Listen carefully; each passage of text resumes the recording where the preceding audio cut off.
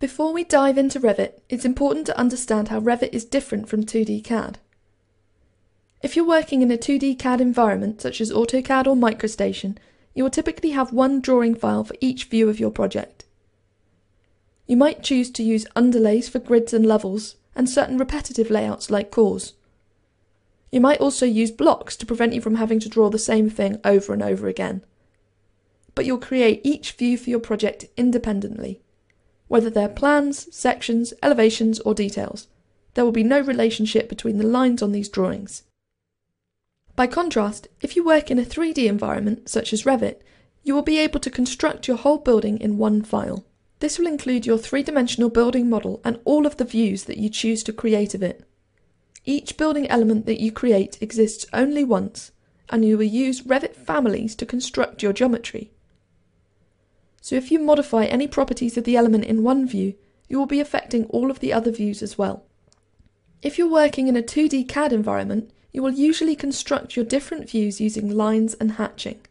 You might draw two parallel lines which represent a concrete wall, and you will put those lines on a layer which represents which walls are cut in plan rather than seen in projection. All of these decisions are down to you. You choose to put the lines on the correct layer to ensure the line styles are set right. It's even down to you to make sure you've drawn the lines parallel and trimmed them correctly at the corners. If you wanted your walls to have a hatch pattern on them, you could choose to create a hatch select the correct hatch pattern, put it on the correct layer, and then make sure that you remember to update your hatch boundary every time you move the wall. Things work a little bit differently in Revit. If you want to draw a wall, you will use the Wall tool.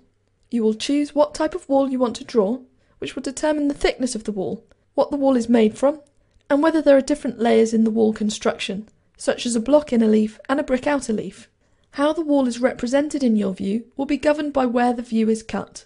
If it's above the wall, then the wall will be seen in projection, and if it's within the height of the wall, then it will be seen cut. Each building element you create is intelligent. A wall knows that it's a wall, and it has associated properties because of that. For example, it knows its start and end levels, and those define its height.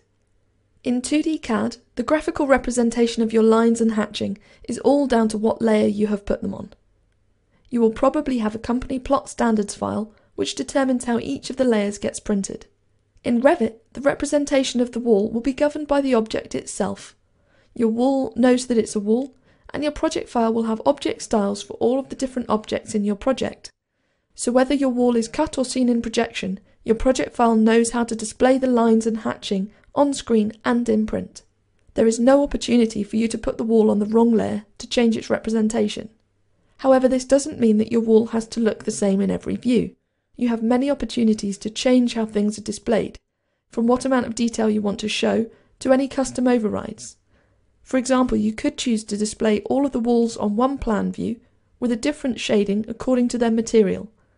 And you could make these view overrides standard across multiple views by using view templates.